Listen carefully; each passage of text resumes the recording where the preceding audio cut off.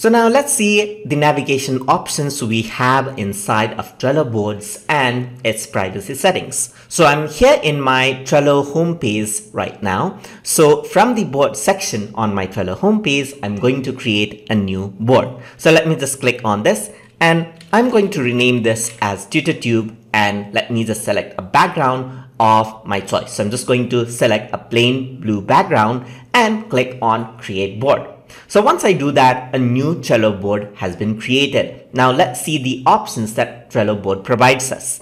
So over here on the top, you have the same navigation options as in your home page. So if you were to go here, you got different options you got home page right here you got different boards that you can access right here you can go around and set uh, different things from here. You have other options. As you can see like you can create a board create a team and create a business team. You have your um, uh, information your notification and your account settings at the end.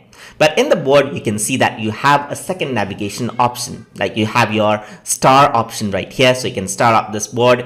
And here you can see that there's personal board setting. So right now, this is a personal board. That is, you have you didn't create a team, but you have a personal board. In my case, I did the same. So right now, I know that this board is personal. The next one right here is the board privacy setting. So right now, it's set to private. That means only I am able to see this. But if I were to go over here, you can see that you can set it up to teams or even make this public. That is anyone on the internet, including Google. So even search engines can um, like uh, see see the uh, see the your Trello board and index it to their search engine. So that is how public it can be. So it can be private, team, organizational, which is not on right here, but and public.